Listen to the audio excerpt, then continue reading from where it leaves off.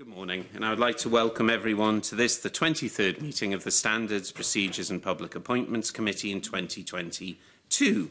Our first agenda item is the decision on taking business in private. Um, are the committee in agreement to taking item 3 and any future consideration of a complaint report from the Acting Commissioner for Ethical Standards in Public Life in Scotland in private? Are we in agreement? Yes. I'm grateful. Our second agenda item is in relation to a cross-party group. The cross-party group on the prevention and healing of adverse childhood experiences currently does not have any active MSP members or office bearers. The CPG is therefore in breach of Section 6 of the Code of Conduct, which sets out the rules by which a CPG must comply. With this in mind, the proposal before us is that we withdraw recognition from this CPG.